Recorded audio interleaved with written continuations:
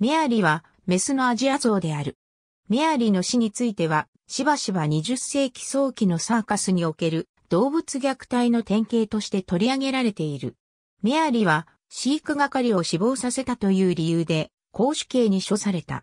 メアリは重量5トンのメス像で、チャールズ・ H・ スパークスのワールドフェーマスショーサーカスで飼育されていた。1916年9月11日に、ウォルター、レッド・エルドリ。翌日の夕方、テネシー州、キングスポートで、メアリを池に連れて行こうとしたエルドリッジは死亡した。エルドリッジの死因については、いくつかの記録がある。その中で一番受け入れられている説は、メアリがスイカにかぶりつこうとしている最中に、エルドリッジがその耳の後ろにフックを引っ掛けて、ついたというものである。メアリは怒って暴れ、鼻でエルドリッジの体を捕まえて、水飲み台にぶつけてから、念入りに彼の頭をその足で踏みつぶしてしまった。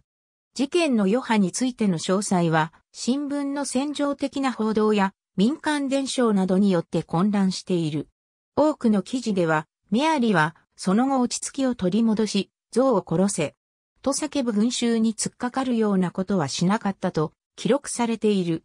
地元のあるタイヤ職人はメアリを殺そうとして銃を20回以上発射したが、ほとんど効果がなかった。新聞は人殺しのメアリを大々的に報道し、メアリが過去にも数人の飼育係を殺した上、当時その大きさで有名だったサーカスの像、ジャンボよりもさらに巨大だと煽り立てた。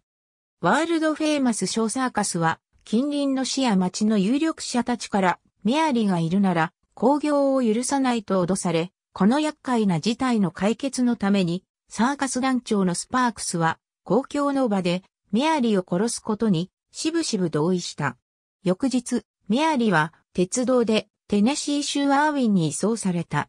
アーウィンでは町に住むほとんどの子供たちを含む2500人以上の群衆がクリンチフィールド鉄道の操車場に集まっていた。メアリは首に鎖を巻きつけられ、台車に乗せられた機重機で吊り上げられた。一度目は鎖が切れてしまい、メアリーは落下して腰を打撲しただけだった。この落下に驚いて多くの子供たちが逃げ出してしまった。傷ついたメアリーに二度目の公死刑が行われ、メアリーは死んだ。メアリーの死体は線路のそばに埋葬されたという。ABCDEFG メアリーアット、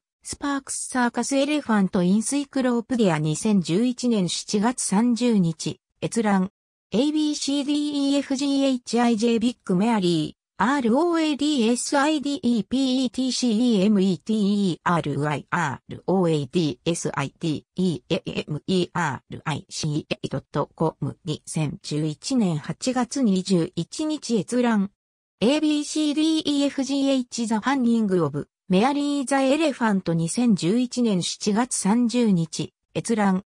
ありがとうございます。